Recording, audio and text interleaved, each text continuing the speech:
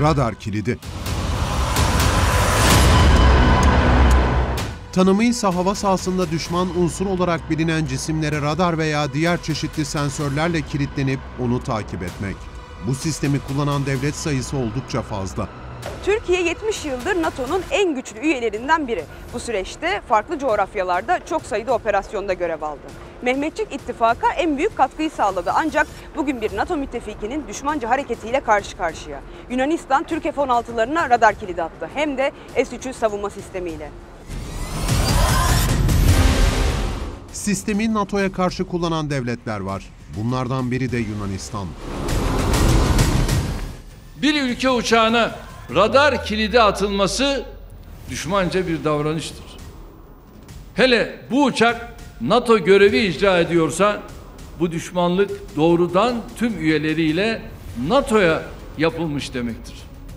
Yunanistan hava sahamızı ihlal ve uçaklarımızı tacizle başlayan hasmane tavırlarını S-300 radar kilidi atma seviyesine çıkartarak aslında bize değil NATO'ya ve müttefiklere meydan okumuştur. O kabiliyeti ve gücü varsa. Yılbaşından bu yana Yunanistan'a ait savaş uçakları Türk hava sahasını 256 defa ihlal etti. Türk jetlerine yönelik de 158 tacizde bulundu. O tacizlerin biri de Ege ve Doğu Akdeniz'de görev uçuşu yapan Türk jetlerine Yunanistan'a ait S-300 hava savunma sistemi tarafından radar kilidi atılmasıydı. Türkiye ise olaya sert tepki gösterdi. Türk F-16'larını S-300'de e, radar kilidini altına aldı.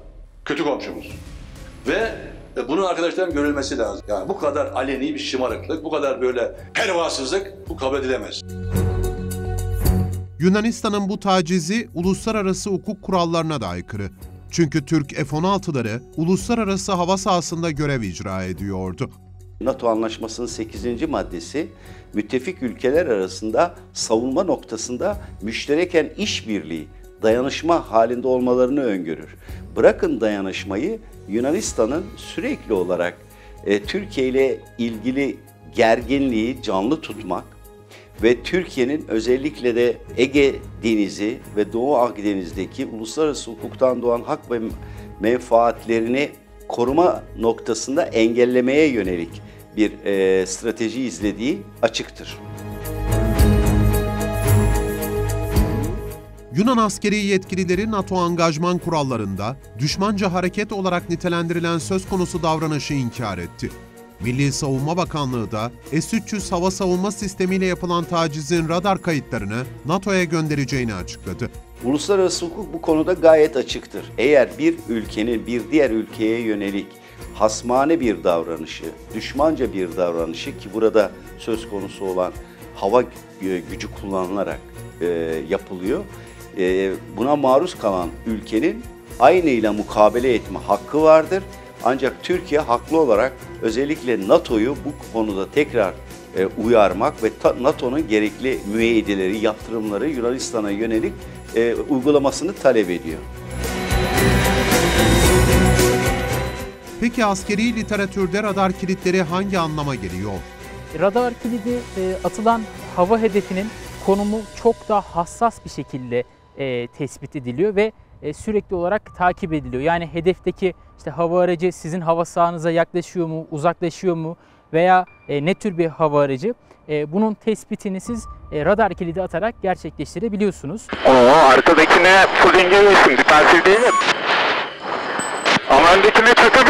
Radar kilidi dediğimiz şey sizin bir hava hedefine angajman yani füze angajmanı gerçekleştirmeden önce yapacağınız son şey. Artık e, radar kilidi attıktan sonra e, gerek karadan havaya bir hava savunma sistemi gerekse e, havadaki bir savaş uçağı e, o hava hedefine angaje olabilir ve onu imha etmek üzere e, füze atışı gerçekleştirebilir. Radar kilidini engellemenin en kesin yolu radar kilidi atan sistemi imha etmek. Bunun haricinde bundan kaçmak mümkün değil.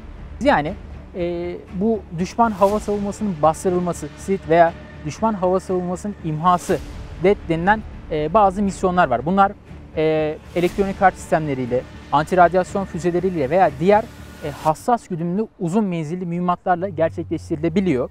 E, burada da olay e, sizin ya e, o sistemi imha etmeden elektronik harp sistemiyle radarını e, köreltmeniz sayesinde yapılıyor veya doğrudan e, düşman hava savunma sisteminde yer alan e, radarları imha etmeniz sayesinde gerçekleştirilebiliyor. Yunan S-300 sisteminde tek tipte füze kullanılıyor. Bu füzeler angajman esnasında güdüm açısından tamamen yerdeki radarlara bağımlı durumda.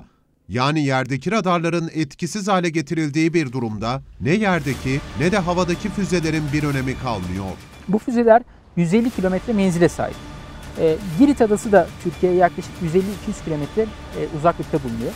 Olası bir savaş durumunda Türk Hava Kuvvetleri, daha doğrusu Türk Silahlı Kuvvetleri envanterindeki birden fazla füze sistemi e, bu S-300 bataryalarını imha edebilecek menzile sahip. Yani siz e, bu e, S-300 bataryalarını e, 3-4 farklı sistemle hedef alabilecek kabiliyettesiniz Türk Silahlı Kuvvetleri olarak.